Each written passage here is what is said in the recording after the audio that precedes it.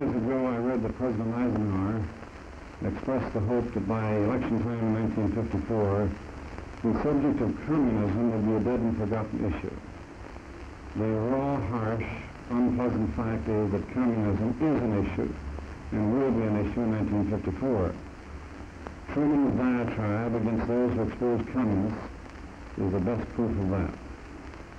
We should remember that practically every issue which we face today, from high taxes to the shameful mess in Korea, is inextricably interwoven with the communist issue.